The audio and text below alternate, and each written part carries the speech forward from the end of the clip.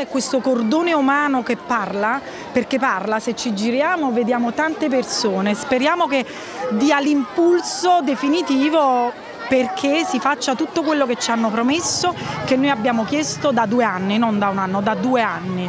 Eh, sono venuti i delegati del ministro Bussetti, eh, questo per quanto riguarda la mia istituzione scolastica, hanno preso degli impegni e io mi immagino che loro li rispettino. Però per quanto riguarda il quartiere, quindi il presidio del quartiere della videosorveglianza, eh, sono, devono arrivare risposte da altre istituzioni e noi le aspettiamo oggi qui.